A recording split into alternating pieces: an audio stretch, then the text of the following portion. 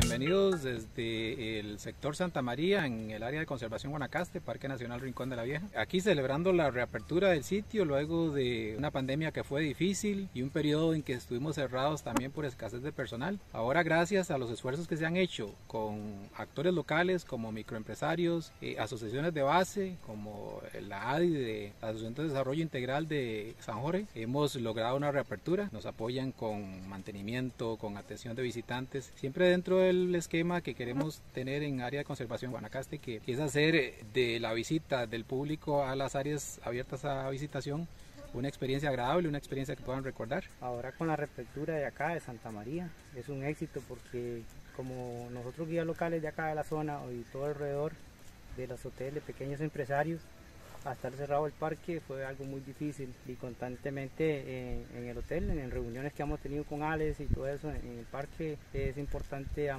armamos una asociación pequeña de empresarios y se ha ido viendo motivación con ellos, que buscando donaciones, buscando a ver cómo, cómo lo podemos mejorar. Cuando quieran organizar su viaje al sector Santa María y venir aquí a disfrutar las bellezas naturales que ofrecemos, tienen que considerar dos cosas bien importantes. De momento estamos abiertos solamente de jueves a lunes, cerrando martes y miércoles por una cuestión de logística, mantenimiento de senderos, escasez de personal. Estamos abiertos de 8 a 3 de la tarde. El área de camping se va a mantener cerrada. Recordar que en su visita a áreas silvestres protegidas en todo Costa Rica no se permiten el ingreso de mascotas.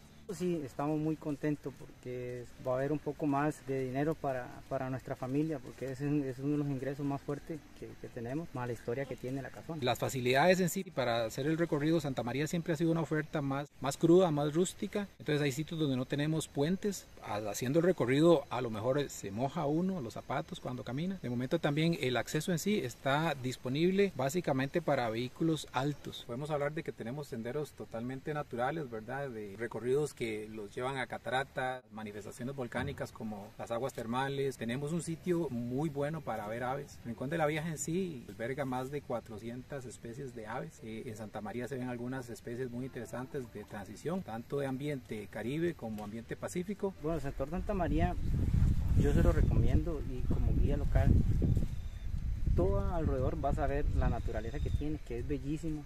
Es tan lindo, tan lindo que usted piensa acá, es como estar en un paraíso.